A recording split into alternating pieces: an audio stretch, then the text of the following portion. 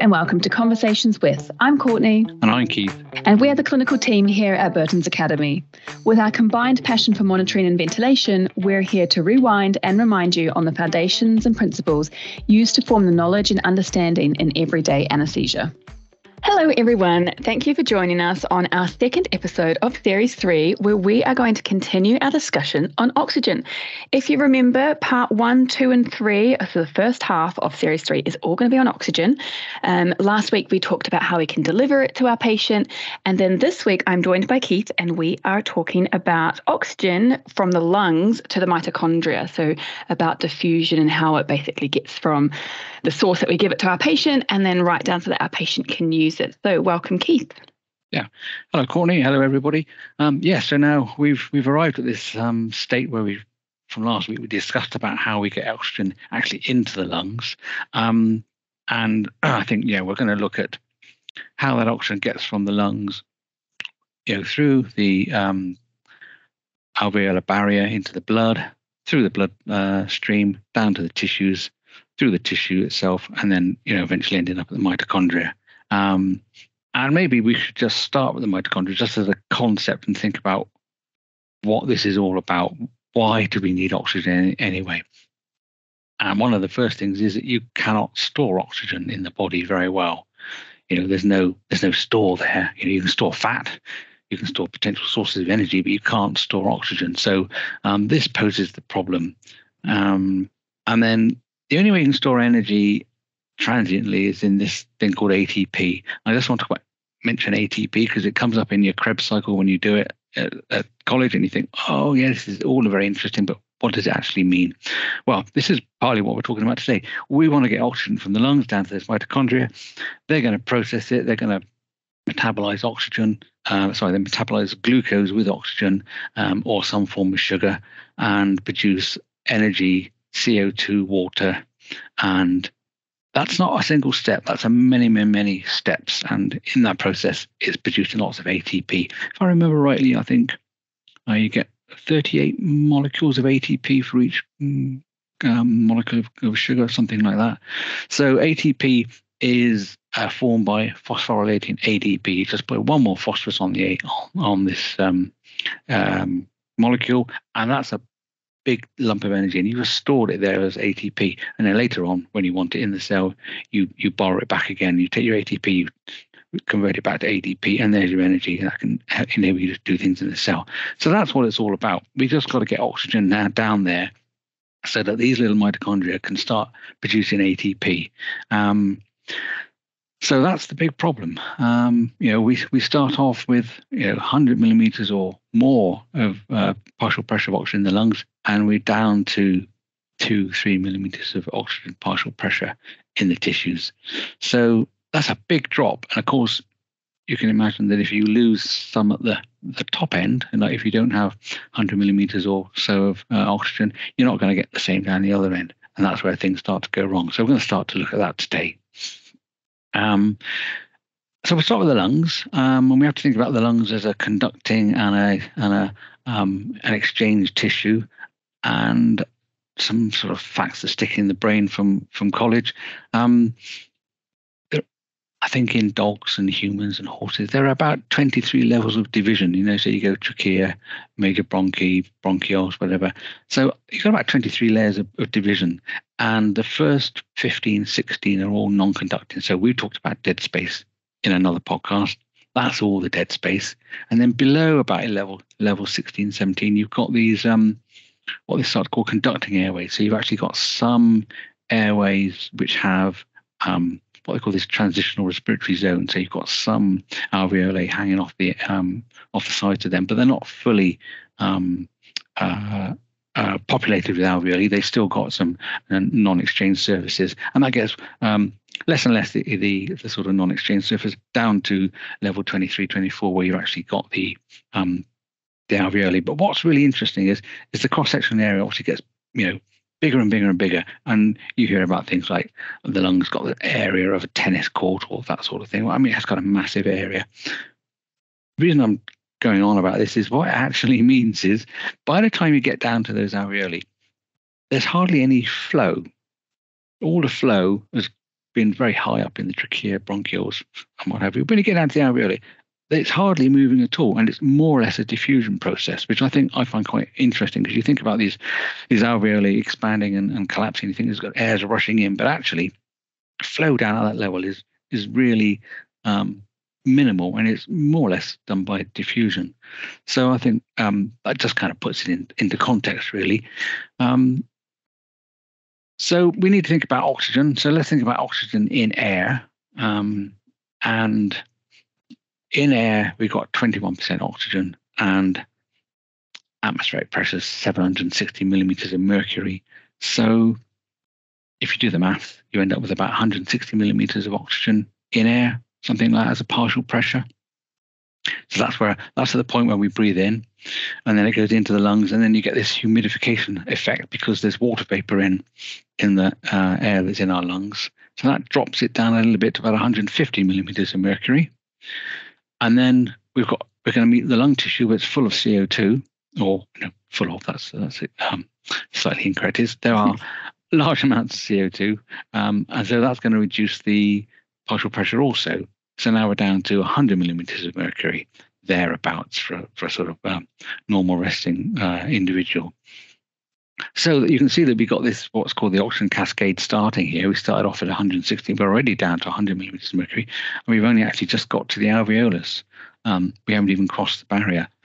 So just to give you some reference points, then we would say that um, for standard uh, patient breathing room air, um, we would have 100 millimeters of mercury of uh, oxygen in the in the alveolus, and that would roughly translate to 100 millimeters of mercury in the artery, and that would represent about 97 percent, 98 percent of oxygen saturation of the hemoglobin. And then just to again put that back into context, by the time it's gone around the body, lost its oxygen, and it loses about 25% of its oxygen, we'll come back and then we're going to have about 40 millimeters of mercury oxygen in the venous system, and that equates to about 70, 75% saturation. So, so that's the circle. We pick up oxygen through the hemoglobin, and then we lose about 25% of it, and we come back with about 70, 75% um, saturation and a much lower oxygen level in the venous system. So on that, that kind of starts to beg another question then. How how does that oxygen get carried around the body? So I think we touched on this briefly last week. Um, but if you if you remember correctly, it's not all in the um, dissolved mm. oxygen in the blood. In, in fact, you, you can only dissolve a certain amount in the blood. It's really all about this hemoglobin. Um, and I think hemoglobin is a, a fascinating structure.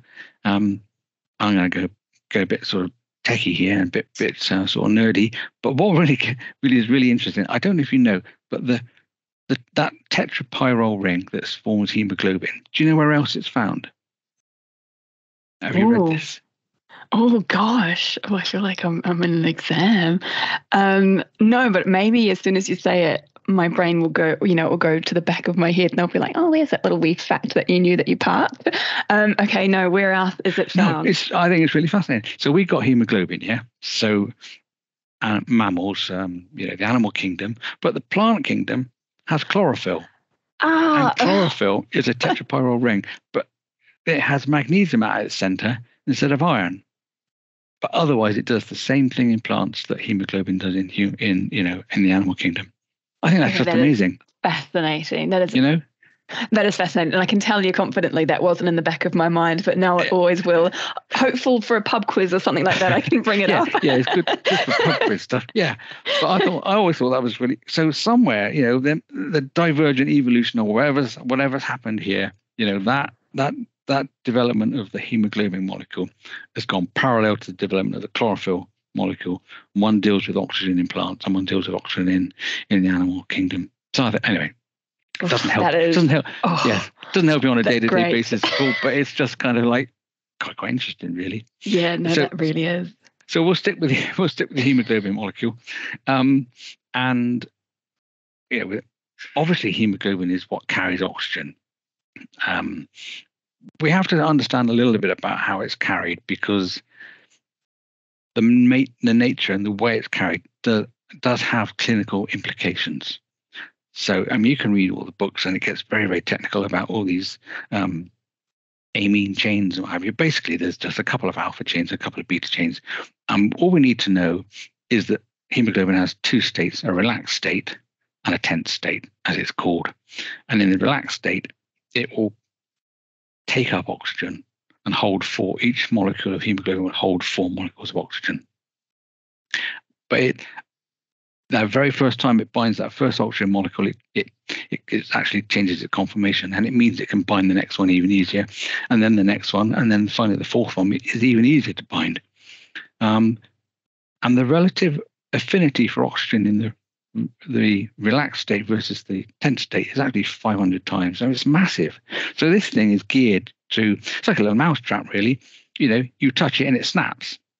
So you, you throw a little oxygen molecule at its and its gateway at its mouth, and it's like a Venus flytrap, and it just grabs it, mm. and then and then sets off this chain of events that really just suck oxygen into it. I mean, it's it's amazing.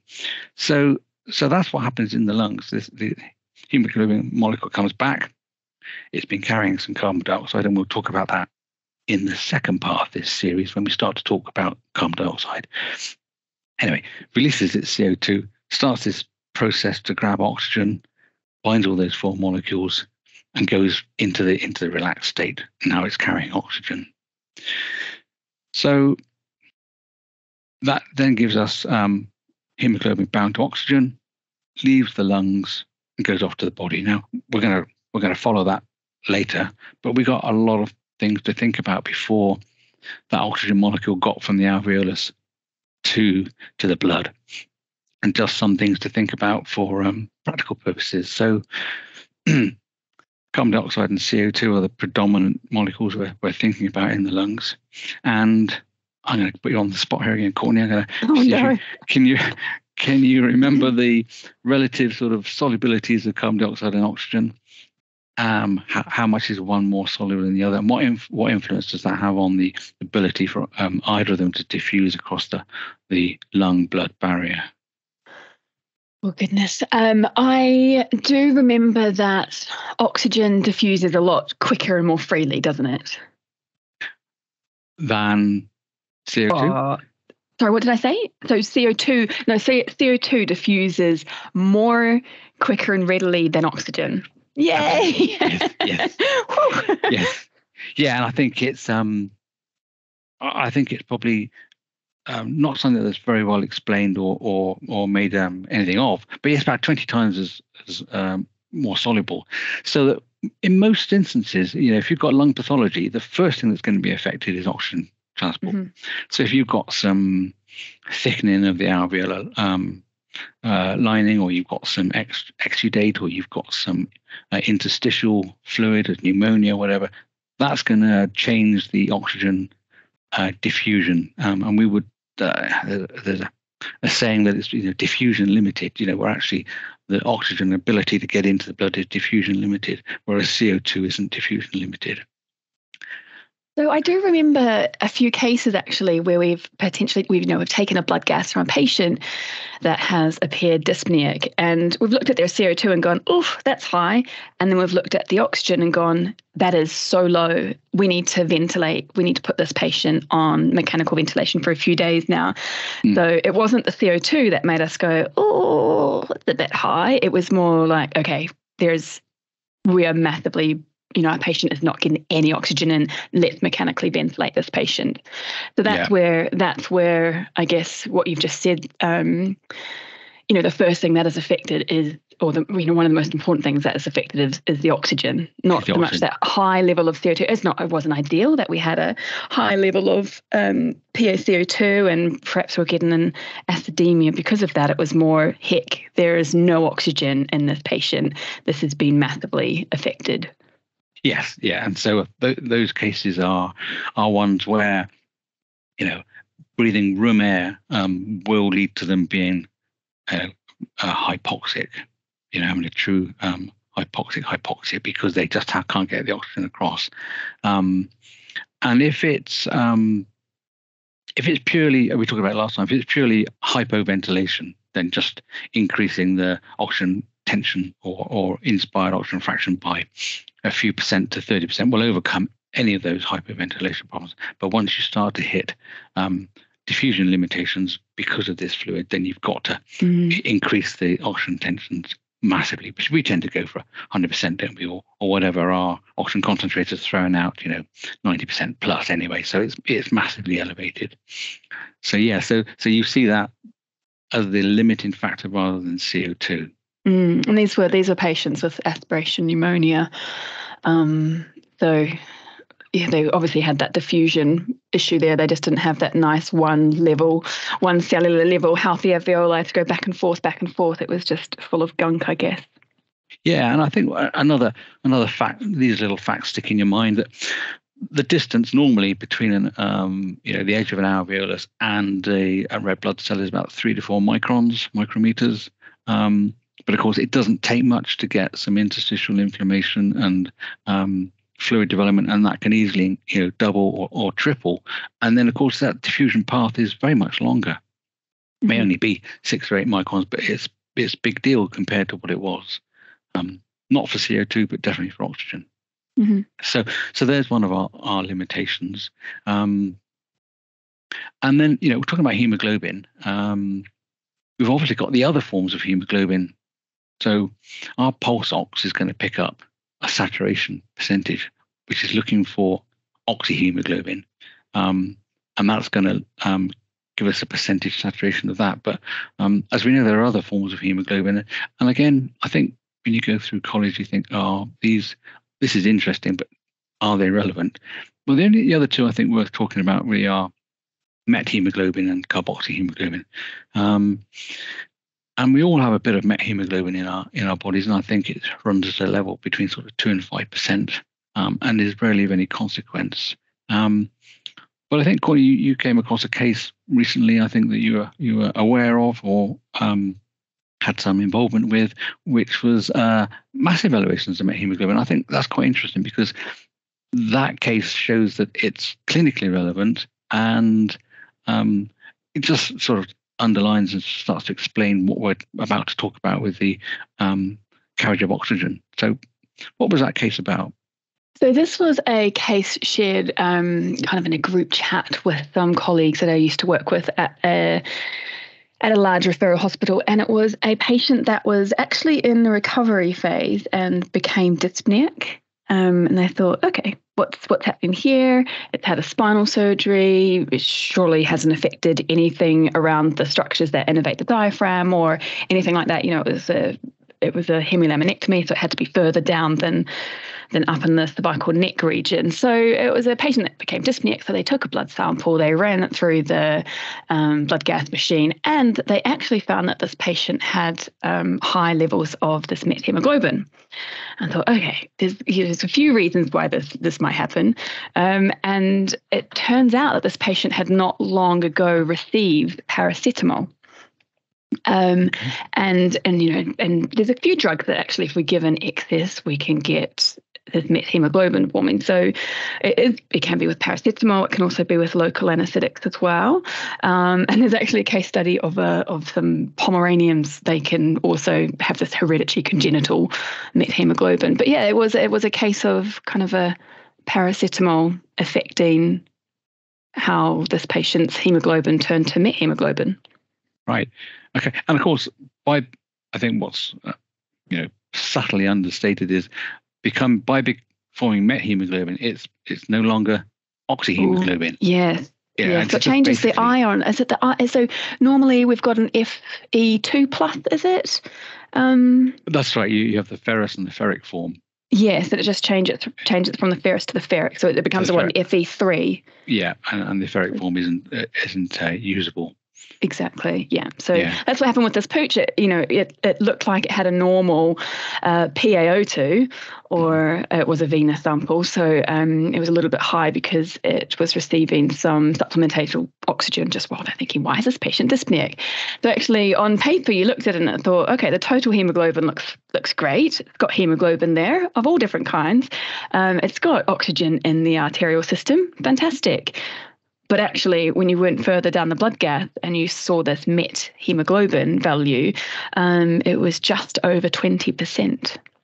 Yeah. So, so I, I mean, presuming it didn't have a very high value to start with, it's lost, you know, 20%, rough figures, of its normal hemoglobin. So, mm-hmm. you know, um, carrying capacity. So that that must mean that's that's an effect of if you lose hemoglobin, that's really an anemia, isn't it? A, same sort of effect as an anemia. You just have lost yeah. that carrying capacity of blood. Yeah. Um, you've only got a little bit that can dissolve in in um, in the plasma, so it has to be the hemoglobin that's carrying it. We've lost it because it's been converted to hemoglobin. So I think, yeah, when I when I went through university, you read about these things, you learned about these things, and you think, oh yeah, I don't that's interesting, but I don't see how that applies. But I think, particularly with the use of intravenous paracetamol now, it's becoming more and more uh, frequent. That's uh, something to look out for. Mm-hmm. Um, and then the other one is, um, you know, carbon monoxide um, has a tremendous affinity for hemoglobin, um, and I think not so relevant, but but I have, you know, I was working in um, uh, when I was working in large animal practice in Bideford, I went to attend a fire where um, we'd been on a farm and we had lots of um, calves um, that were in the fire that had smoke inhalation and um, and they were definitely um, cherry red uh, membranes because they had carboxy wow. uh, hemoglobin. Um, so you know, again, it does happen. Um, and in the you know that was a that was a livestock farm animal situation. We couldn't really put all of those in oxygen tents and things. Um, but uh, that you know those things can happen. So if you see dogs, cats, rabbits from fire, you know, um, buildings from fires, and even uh, I, have read this, but I've never seen it. Um, supposedly in in households where um, where there's heavy smokers, you actually get uh, high levels of carbon monoxide. You know, um, passive smoking really. Wow.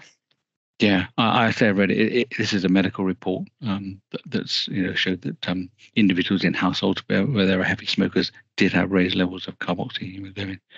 Anyway, slightly straying off the path. So, uh, but but kind of indicating that we need all the hemoglobin we can get, and things like methemoglobin and carboxyhemoglobin are going to detract from that.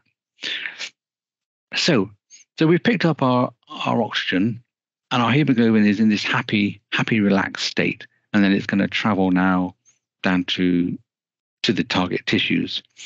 And it's quite interesting that you think, well, what happens along the way? Can it not lose its oxygen on the way? Is it not? But it can't really, if you think about it. If you remember the, histology of, of the aorta and the big arteries and the, and the arterioles, they all have non-porous walls, um, so they can't lose any oxygen until they get to the um, uh, down to the tissues. So it's like getting on a um, underground train, isn't it? Mm-hmm. It's like you know you get on the underground, and you, you where all you know the passengers, all the oxygen molecules, on they get onto the hemoglobin, and then you can't get off to the next station because there is no exit path. So that's a nice way of thinking of it. So yeah, so you, uh, until you get to that uh, next station, you can't get off, and the next station is the tissue, and then you've got the potential to to lose oxygen or un, unleash the oxygen there. So um, this oxygen, sorry, this hemoglobin is in its happy state all the way down to its tissues, and then something happens to upset it, you know, and, and by upset it, changes environment. The environment suddenly changes. It ends up in this tissue um, where things are changed. So we, it's noticeably warmer now. We're in the sort of core core tissue as opposed to lungs, which are just pulling in room air all the time. It's just warmer. Um, and it's now in tissue that's been actively respiring, producing CO2. So we're in a slightly increased CO2 environment because of that, we're in an you know increased proton H plus environment, so our pH is down. So all those things really upset hemoglobin, and it just basically says, "Whoa, I'm out of here," and it just goes into its tense state and bungs off the oxygen. So releases the oxygen because of that that that change. Okay, and then CO2 has been sitting there CO2 always gets the bad boy image, doesn't it? It is kind of a bad boy, really, um, because what it does is it, it, it, it plays its part in displacing that oxygen. So it displaces the oxygen, binds to the hemoglobin because those those conditions are preferential, and then we've lost our oxygen and we've we've gained our CO2. Um, and my kind of way to think about it is when he got to that tube station, okay, and the doors opened. I'm not a football, I'm not a football fan at all, but we had like, and I'm going to get criticised for this now. I know. We're going to have like on the on the platform we had like a load of Millwall fans, and then and on in, in the in the um in the carriage itself, we got a load of other. I don't know who, who Millwall would hate, but anyway, they would rush in. The CO2 boys, the Millwall boys, would rush into the into the train compartment, and because of the antisocial nature of these football fans, all the good people would rush out and leave the tram.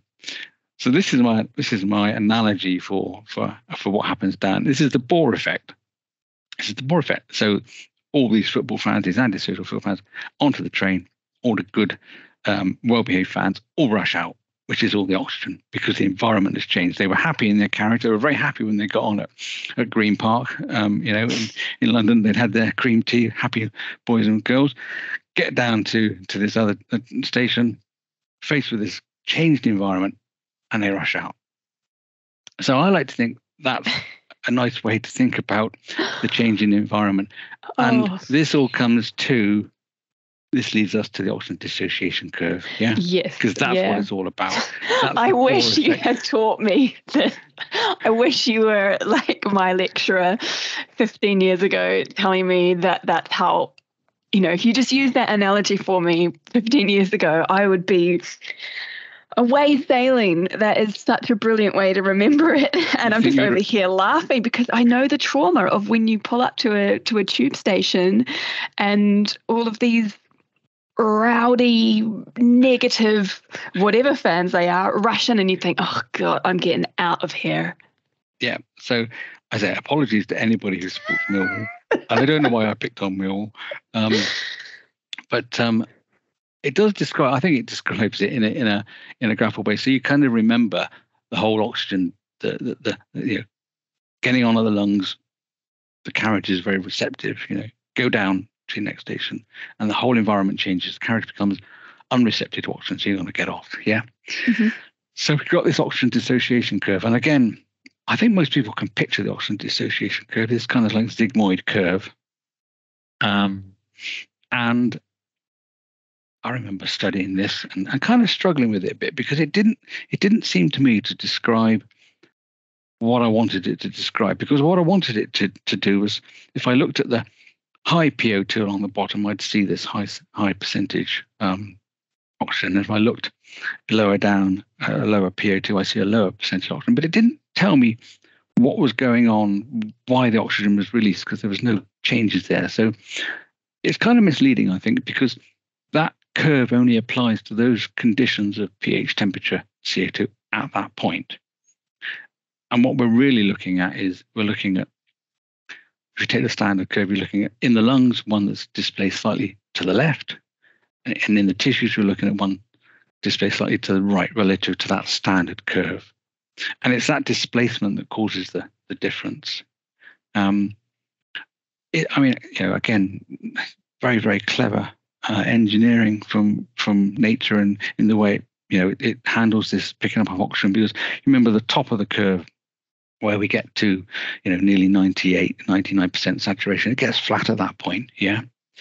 And that's at around about the point of your 160 millimeters mercury where you are in the lungs. But it's nice and flat.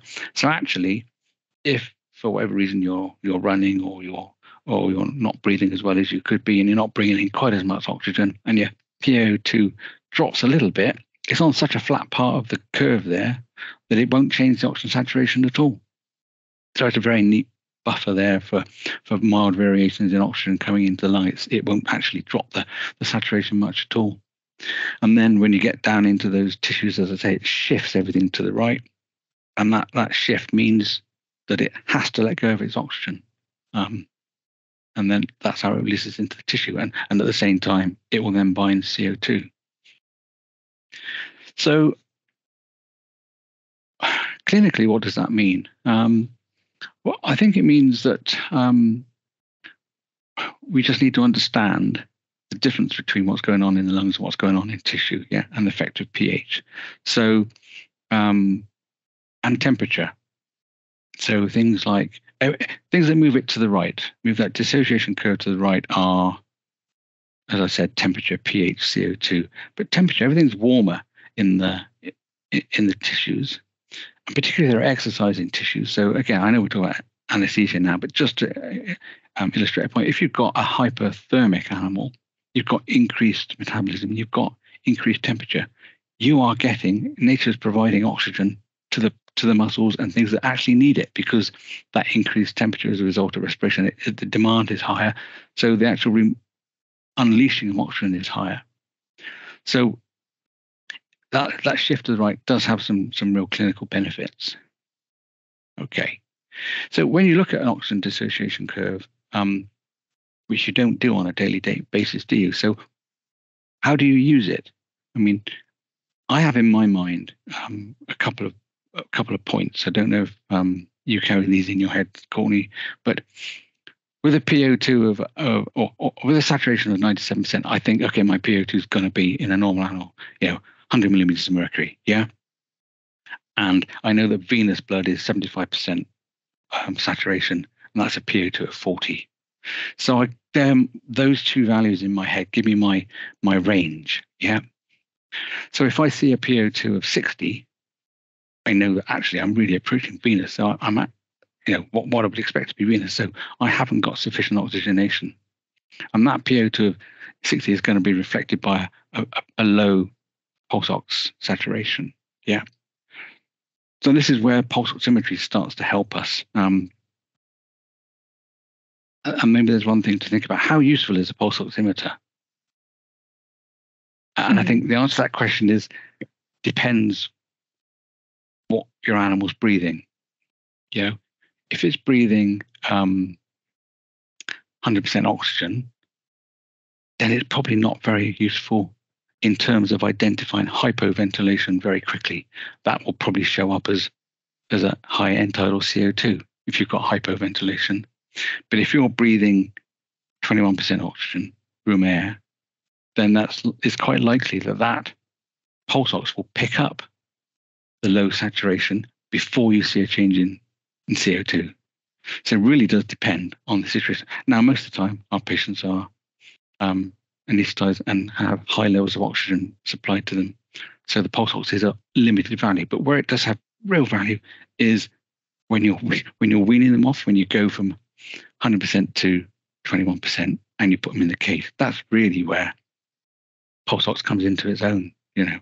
So you've worked in, I think, a number of practices, Courtney. How many practices that you work in have that practice of maintaining and keeping the pulse ox on the animal at disconnection and carriage to the to the to recovery? I think way back when, I think when I was doing my general nursing for you know the first half of my career, there's that relief when you turn off the the vaporizer, that you disconnect all of the attachments to that patient. You flip them, you know, they've been on 100% oxygen, they've been on isoflurane, you know, 1.5%. The surgeon's done, you you want your lunch break, you need to go to the loo, you've got another case to do, you flick everything off, you turn that patient over and you put them back in the recovery kennel, and away you go. Every now and then you flip the lip and see what color their mucous membranes are. And I think that probably was the extent of what I would be doing in the recovery period for that patient. And I, now, now after you know sticking my head in textbooks for years, and then thinking, wait, we can actually use this piece of equipment all through the recovery period. Why are we rushing to disconnect everything so quickly? And I'm actually a huge advocate now. Um, you know, the second half of my career, Courtney, of having a little portable pulse ox for recovery now. It is it is a thing I want in that room. I I really want to be monitoring my patients' oxygen saturation recovery. I think we do still have those those drugs that will cause respiratory depression on board. You know, we turned off the isoflurane, the sevoflurane, fine, but we've still got opioids on on board.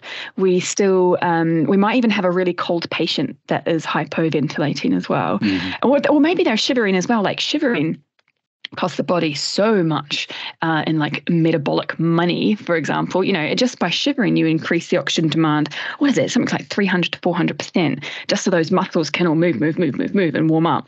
And I think, okay, so th- these are the patients that were on really nice 100 percent. Within three seconds, we've turned it all off. We've flipped them over. Um, we've got them on room air they might be a bit cold. They've still got res- res- uh, respiratory depressant drugs on board. Um, maybe there's a de- some degree of atelectasis from positioning that they were laying in. And then we just crack on with the next case and we forget to look go back and look at these patients. And now for me, I think, you know, these little handhold handheld pulse oxes they're so cheap and i will want one in my recovery room now and i also just if we are going to talk about using a pulse ox in the recovery period i think if possible not always possible for some patients that are a bit wound up and excited or maybe they're a stress brachycephalic but I like trying to obtain a pre-surgical pulse ox reading if possible just to help guide my expectations in recovery because often we think we've got these brachycephalic patients we know they're probably going to be a little bit hypoxemic we're recovering them and then we put these pulse ox probes on these french bulldogs and we go oh their pulse ox is 92% and i'm thinking yeah it's probably 92 before we started like we yeah. can't we can't make that any better.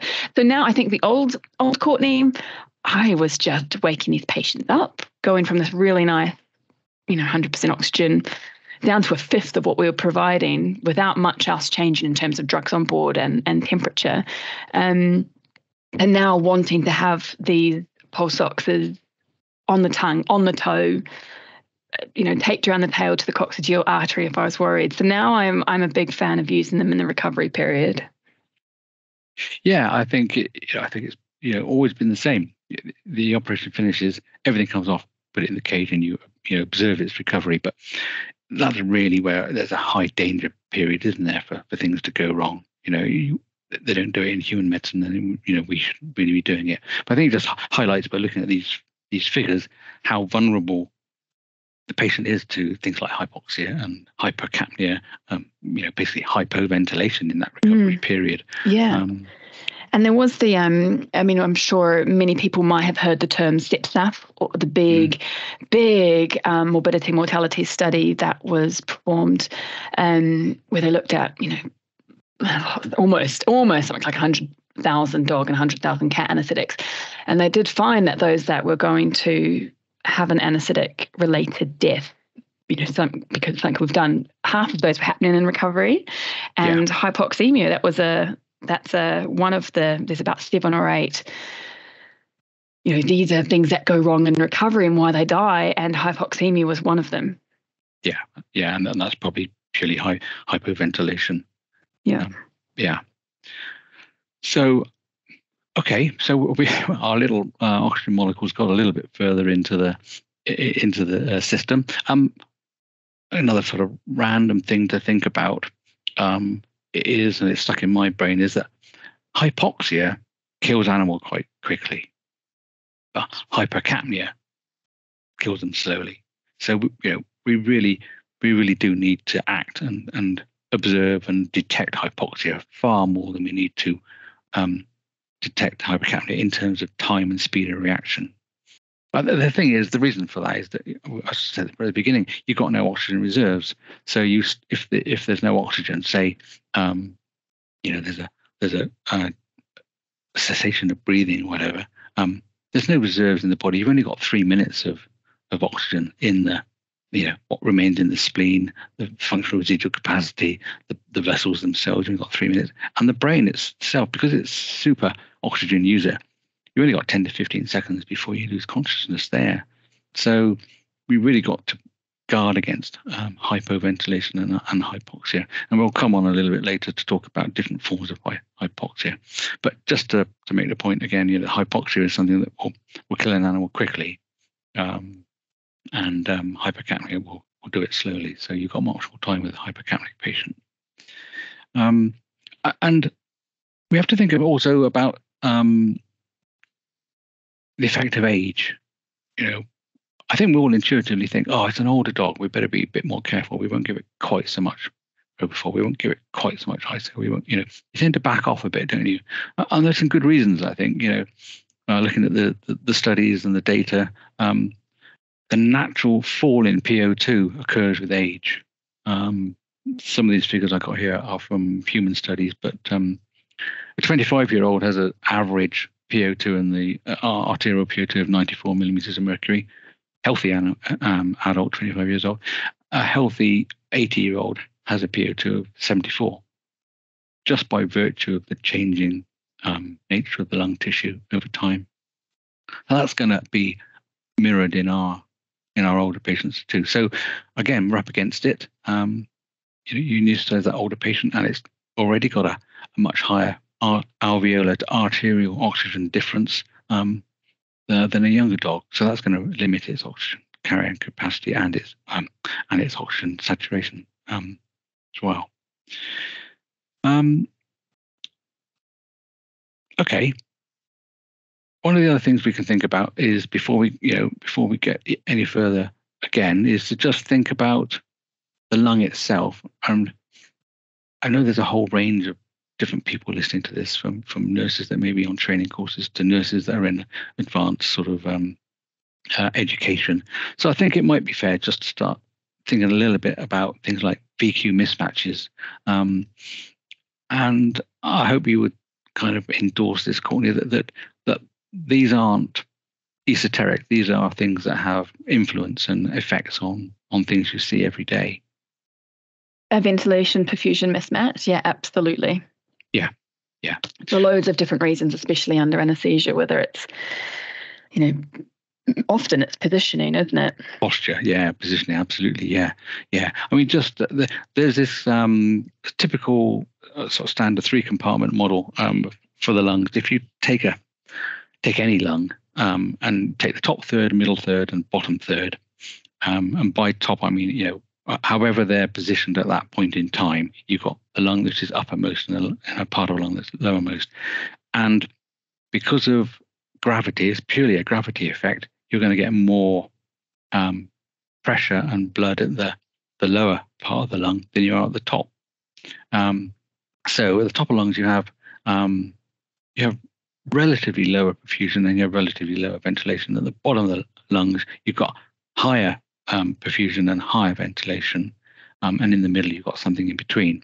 And you've got this VQ that reduces as you go down the lungs. And, and you know, we're looking for that that wonderful VQ ratio of one or thereabouts. Um, so at the top it's slightly less, and the bottom it's slightly more. Um, so the lung isn't this homogeneous mass that has this perfect VQ relationship all all around it. Um, it varies, and it varies with you know position in the lung. Um, and it, it's quite interesting to, to, think. I thought, oh, well, the lungs that are at the top, where the you know the ventilation um, uh, means that the, the alveoli are actually quite open because there's there's less pressure. Surely they'd be ventilated better. But what actually happens is because they're, they're more relatively open, they don't close very much. So they op- only they only open and close a little. And those at the bottom, where they've got all that hydrostatic pressure or increased hydrostatic pressure, tends to keep them more more compressed, but they're not collapsed. They got the potential to expand more and con, con, uh, constrict more. So actually, they contribute much more to ventilation than the ones at the top. And then you've got that gradient in between. And then you, you have the potential at some point where the hydrostatic pressure, um, coupled with I mean, other factors, may be that they are that it's too great and those alveoli tend to collapse. Yeah, and then you've got alveoli that, that have no oxygen exchange capacity. Um, so then um, you know that, that introduces a different VQ um, uh, situation.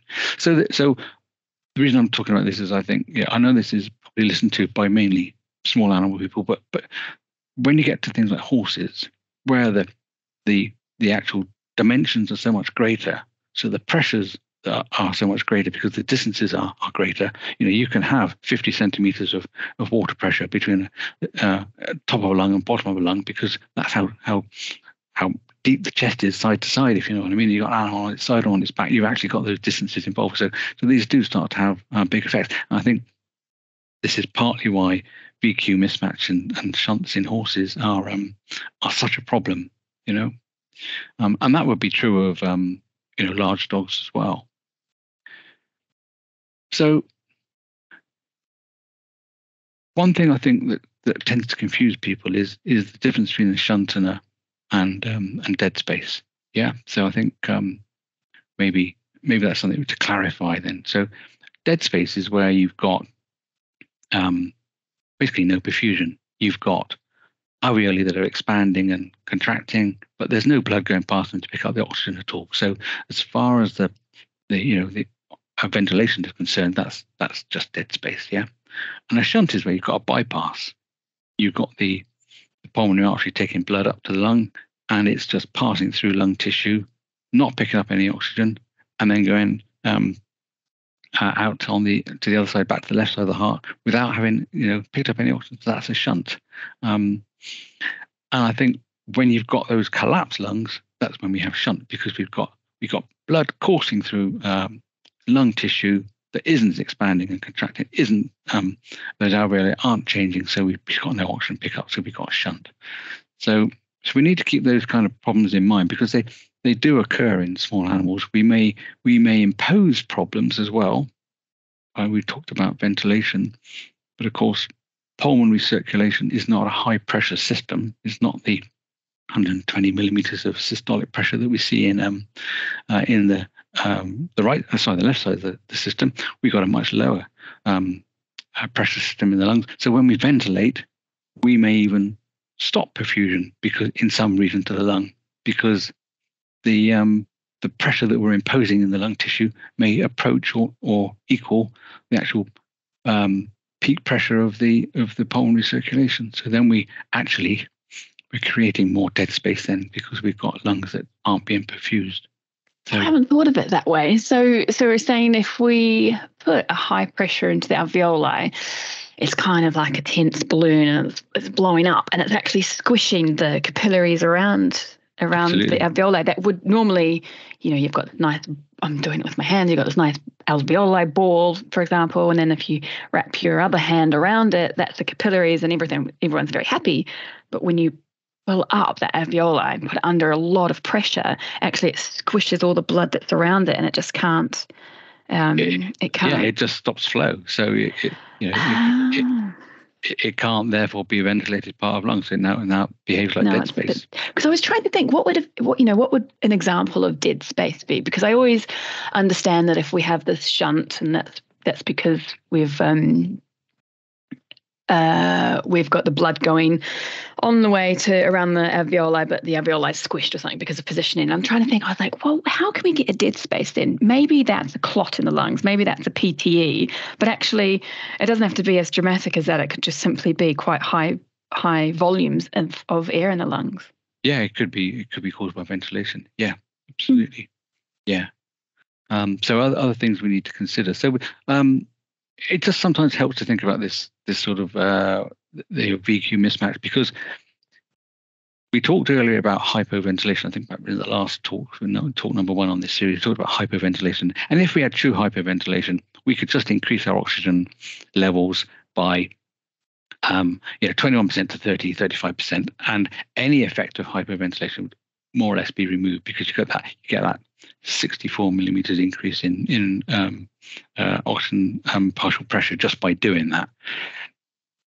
But the thing with a shunt is that no matter what you do, even if you increase your um, oxygen to 100%, you will not change the shunt fraction. Therefore, you will not improve your PO2 because it's just bypassing it.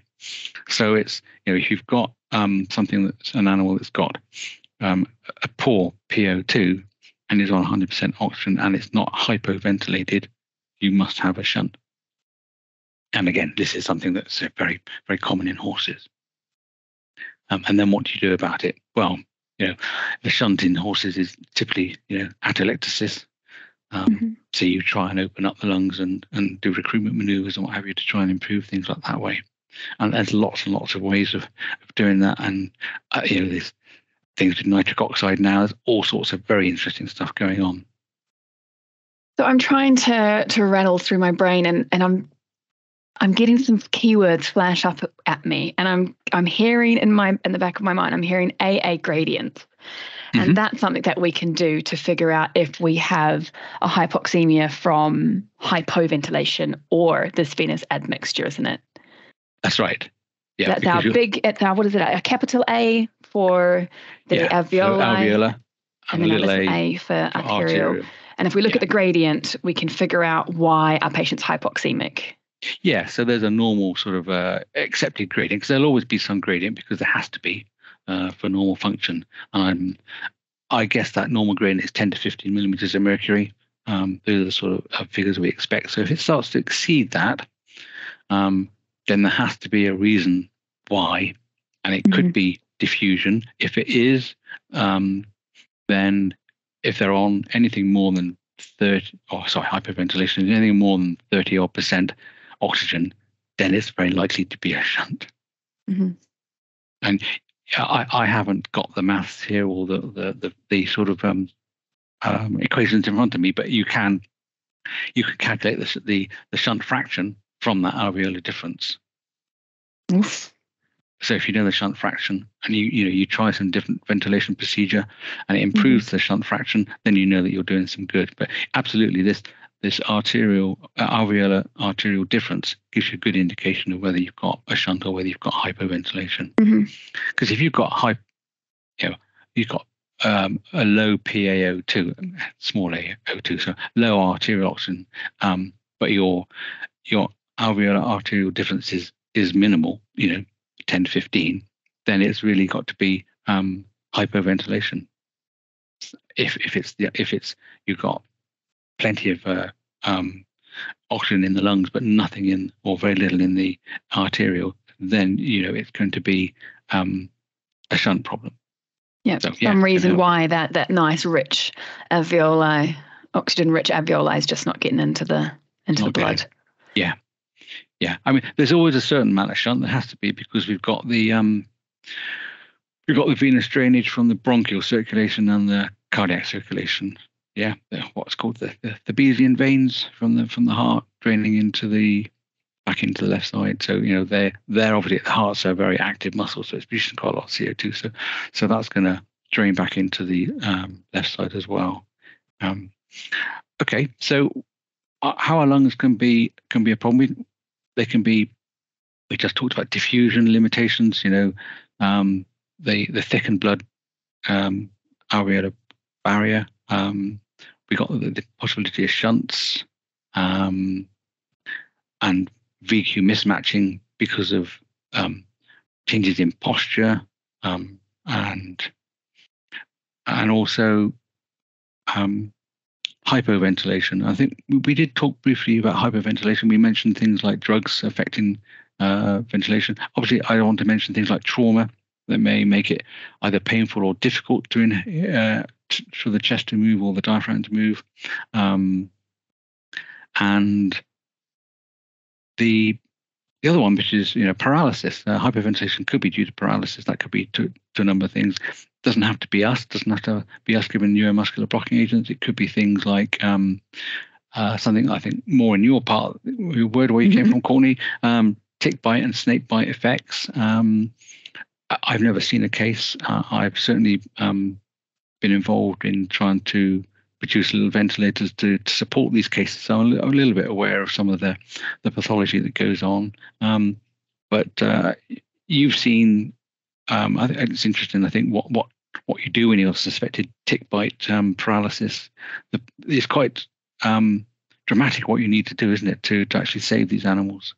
Yeah, absolutely. So, you know, these are horrible ticks, and once they do bite and they do cause this paralysis, and these patients come in very weak and, and struggling to breathe. And it's it's all hands on deck. I mean, there's news in the same way in the UK and where actually everywhere else in the world you go hit by cars coming down, high rise fall is coming down. Everyone's there, everyone's prepared. When we find out that there's this tick bite dog coming in, it's you know everyone's armed with clippers and it's quick. We are top to tail basically, nose to tail clipping all of the fur from that patient.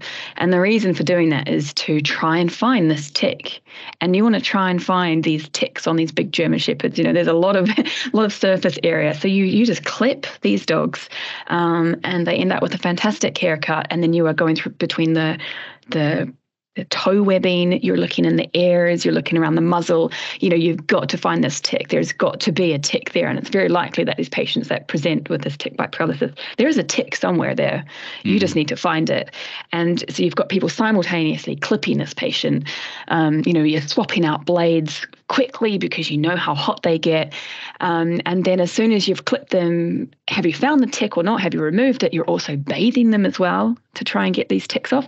And then they they just need time really. They need time to I guess metabolize and then recover. So it could it could be 24 or so hours, um, but literally time is of the essence. Just as you've described before, you don't have long if you're starting to hypoventilate and you're having problems getting oxygen in you don't have long and these patients go downhill very quickly so it is literally it's quite dramatic to see them um, just be clipped you know almost like you know this poodle cut that you get where they have fluffy mm. legs but little naked little toes that's like that all over the body and you've got to find this tick and it's just everybody's involved and and then, to be honest, I was working in Queensland, so that was the sunshine state, and it was hot. And I thought it was really hot working there. And I just think, oh, at least these nice German shepherds have got a haircut. um, you know, they're, they've survived and they're they're cooler for the summer. But it's it's quite dramatic when when it's a tick bite case. And then if it's a if it's a snake case, then that's a different ball game as well. And I, I wasn't really involved with the management of the of the snake cases with um, giving them anti-venoms and then putting them on ventilators for days. But definitely with the tick bite paralysis, very quick, lots of haircuts, find that tick, get it off. Our patient is struggling to breathe. Mm.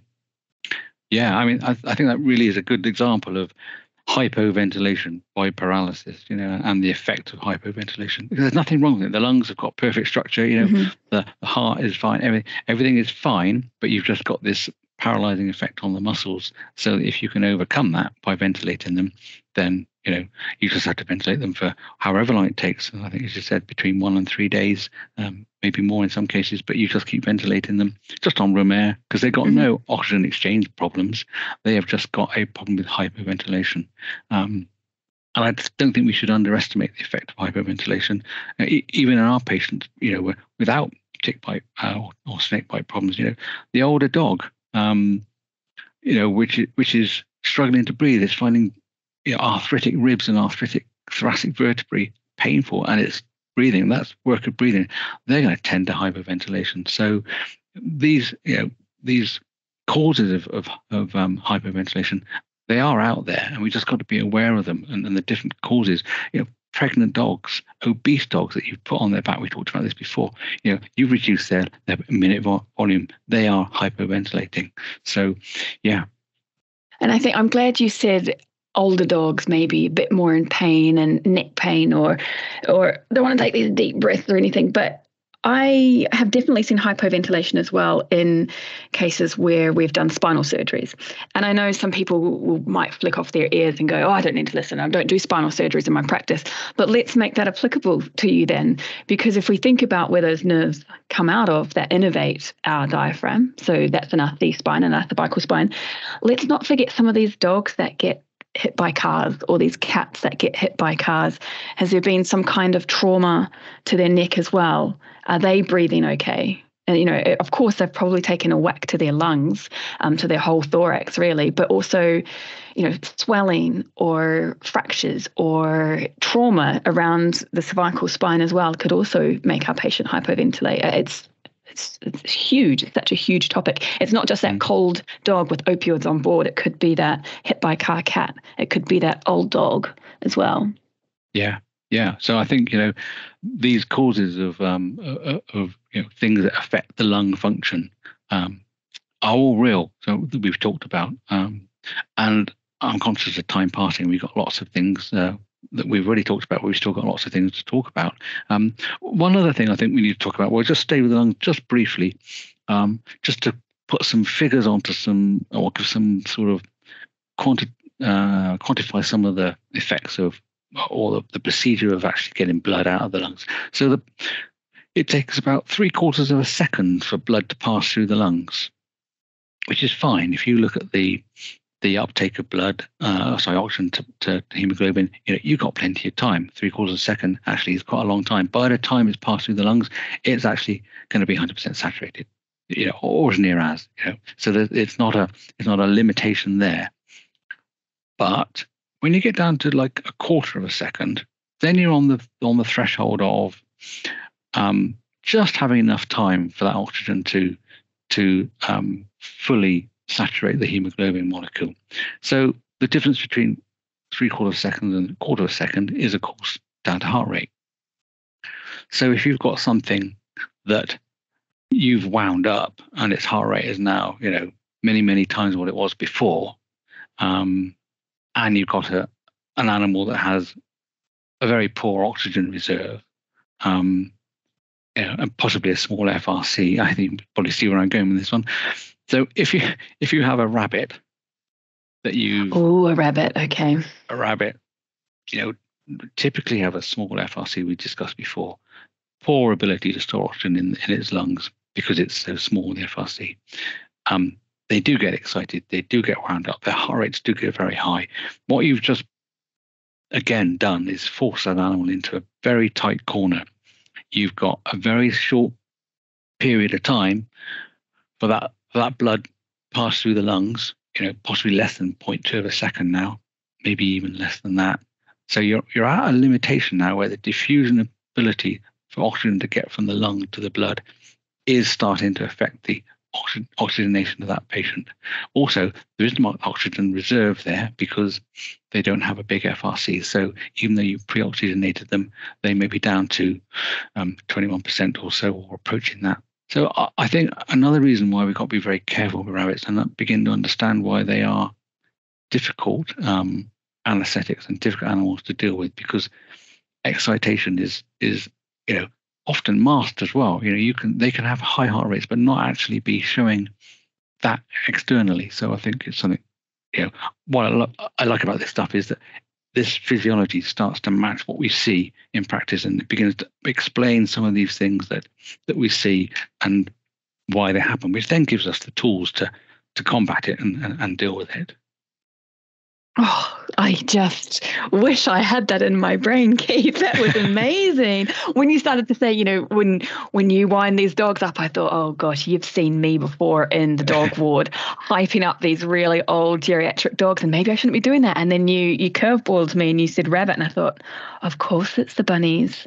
Of course it is. And it makes so much sense. It makes so much sense. I used to think that that these rabbits, like the catecholamines killed, you know, I thought the stress did gave them arrhythmias, etc., etc. But there's a whole other factor I was not considering at all, and that was just the time of getting the oxygen into the blood to be used. Yeah, and I think it is probably catecholamine related. Obviously, that's going to have an effect on heart rate.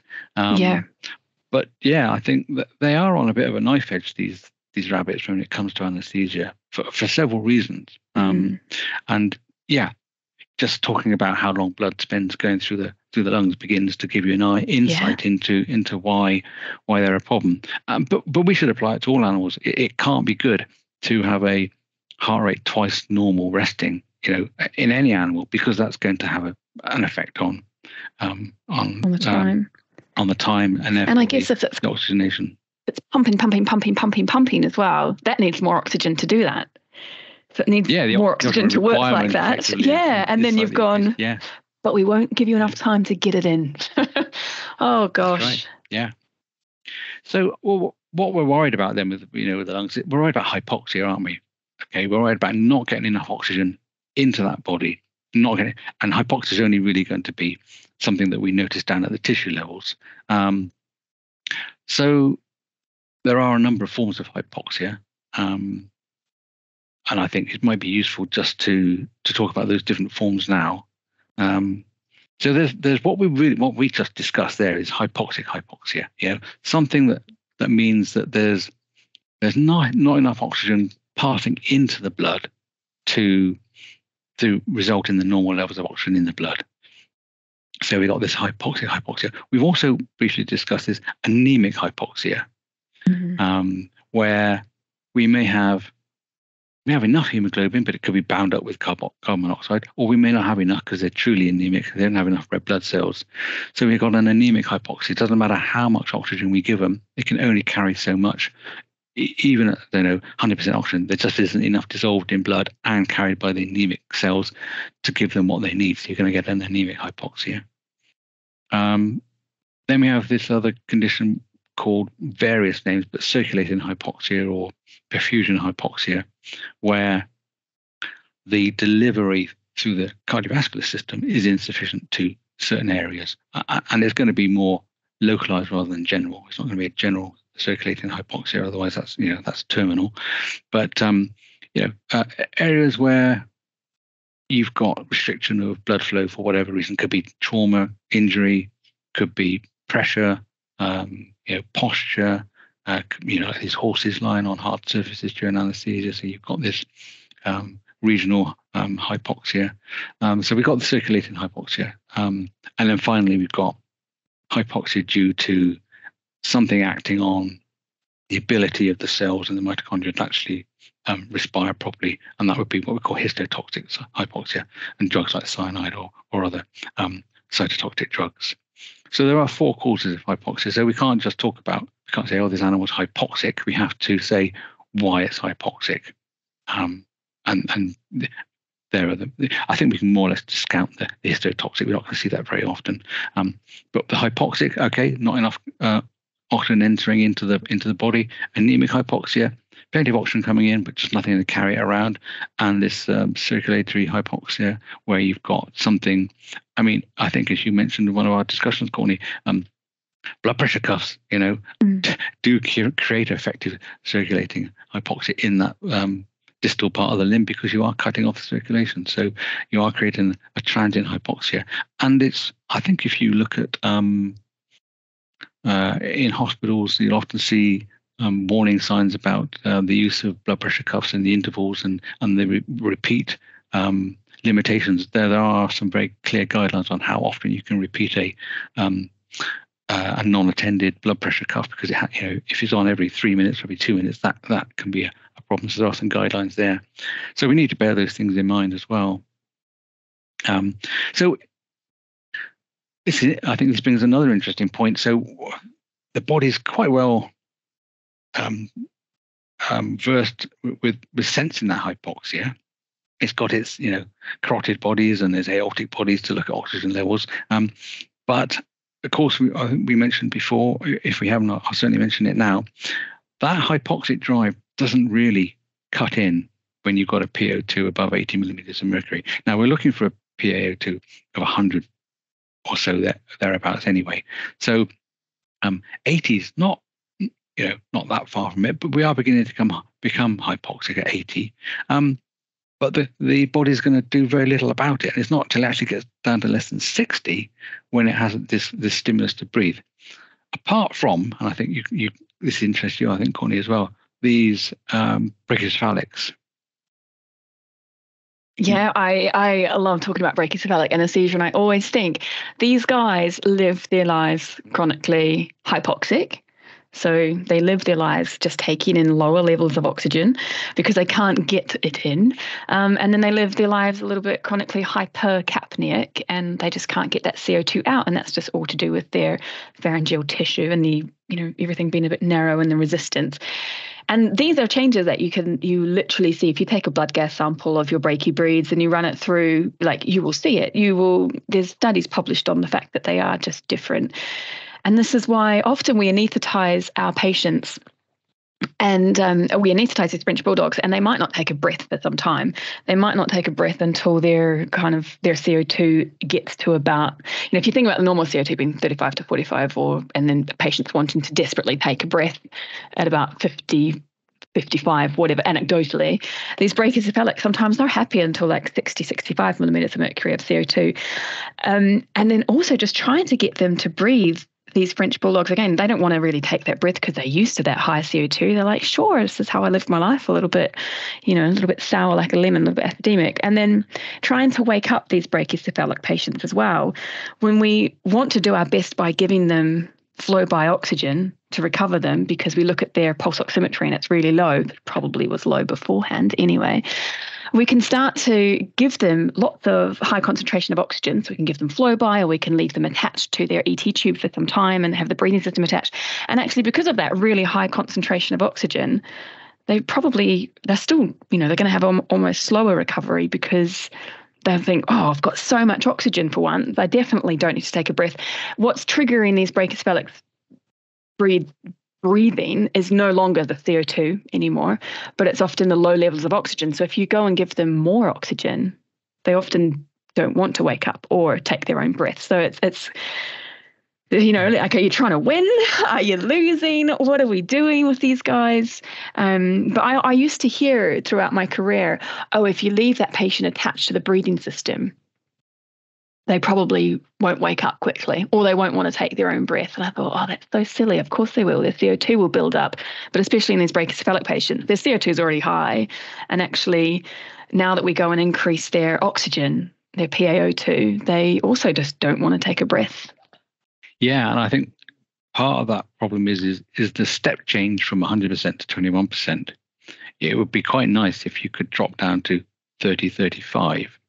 Then, you know, A, you wouldn't run the risk of hypoxia, because I think we talked about it last time. If if these brachies have got this norm, uh, their reference, their normal range of, of end tidal CO2 is higher, we said before from the alveolar equation, you can only have so much in the lungs. If your CO2 is high, you can't have as much O2. Um, so if you're on 21%, there's a risk you actually induce a hypoxia, which may make them wake up, but we don't really want to make them hypoxic, truly hypoxic. So it might be better to have something like, you know, 30%, 35%. But we go from this this very high 100% down to 21, and there's nothing in between. Um, and I think, you know, maybe we should consider doing it like you say, flow by, cannulae, mask, whatever. But I think 100% to 21 as a step change mm. is is a is a problem or potential. I'm not sure if, if if it's effective or not, but I felt a, a, lot better by doing it. But once I disconnected the breathing system from the patient's ET tube, um, so that's I actually was fortunate enough to have agent monitoring, so I could tell that they weren't expiring a bunch of isoflurane into the room that I was going to inspire. So um, once I knew that they were no longer expiring lots of anesthetic gases and I just didn't need to have them attached to that breathing system. I actually used to leave the breathing system about two or three centimeters away from the connection of the ET tube. The mm. patient's still intubated. And I mean, I haven't done any uh, research on it, but I, I I wonder if I was safely being able to reduce the FiO2 for that patient. Well, not safely, just just change it slightly, not quite be just on room air. Yeah, yeah. Yeah, I think it's an interesting time. These these brachies they are they are quite a interesting mm-hmm. um, sort of physiological um, puzzle, aren't they?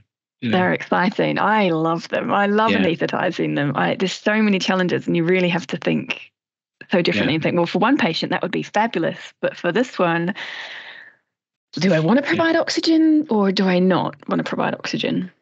So I did. I, I just put this in as one of maybe our last comments. I think we've more or less come to the to the conclusion of our, our talk today. But one thing I, I did read about um, a while ago was uh, the, the, normal thoracic pump mechanism that we talked about, you know, uh, in our ventilation lectures, I think, or our podcast. Um, you got this this thoracic pump mechanism where you, when you inspire, you create negative pressure in the chest and you aid venous return, and you in, during that process, you're actually improving cardiac output. So, so the, the, the, the paper or the report that I read was um, suggesting that this has a tremendous benefit to the brachycephalics because they create, because of their bad breathing, they, you know, mm. they create quite a, a, profound negative pressure in the chest. They're actually influencing their um, cardiac output and their venous return quite markedly by the thoracic pump effect. Yeah, which is great, isn't it? Until you intubate them. Oh yes, yes. They're used and, to going. Ugh. Yeah, and create, and then you uh, totally abolish, even if they're still spontaneously breathing, you've taken away a lot of the effort, which is great from worker breathing point of view and everything. But you have changed the dynamics of venous return and cardiac output in those patients. And if they're potentially hypovolemic, that could actually potentially be a problem. So it's just something to think about. Yeah, that's yeah. fascinating. I I like having put those two bits of knowledge together now. Actually, that's that's yeah. very good. Really I, I have nothing. I have nothing other than this what I've read in theory to put it together. But the mm-hmm. but you know the physiology makes sense. They're, yeah, they're, absolutely. While they're in that that stertorous and and and you know struggling state, they're actually improving or helping their own cardiac output. And if you remove that, then it can have an effect. Probably not in the well individual, but the the hypovolemic shocked individual may be a may be a problem. So um, that's something to think about. So yeah, look, be, I think the thing to do would be to to monitor blood pressure really carefully at the, at the you know just post intubation and just make sure that you don't get a crash or anything like that happening. Mm, that's a good tip. That's very good. Yeah. Okay. I think um, I'm sure there's more we can talk about, Courtney, but we've gone from the lungs down to the to the to the mitochondria. Really, um, there's um, there's obviously a lot involved in going from one one to the other, but I think we covered a lot of it. Um, I'm sure there's more we can talk about, but um, I think we'll, we'll, we need to sort of call it a day there and think about the next phase, which is going to be the more the more clinical, more hands-on um, phase. So our next podcast, we're going to talk about uh, still talking about oxygen, but you know how we monitor it, how we um, look at a patient's oxygen status, how we deal with it, um, how we can you know, affect its um, ventilation, things like that. So we're going to look at the very practical monitoring side of oxygen next time. Looking forward to that. Yeah, unless you have anything yeah. else to say this more uh, now, I think then we'll wind this this um, podcast up and um, and go and prepare for the next one. No, it sounds fantastic. I am really excited to talk about applying all of what we've just learned to actual hands-on monitoring with our patient. So that will be next. Great. All right. Well, I'll speak to you in the next one. See you later. Okay, bye, bye now. Thanks for listening to this week's podcast. Don't forget to follow our podcast to stay up to date with the latest episode and feel free to share with your team. If you have any questions or feedback for us or simply want to know more about what you've just heard, please send us an email to clinicalsupport at burtons.uk.com. Catch you next time.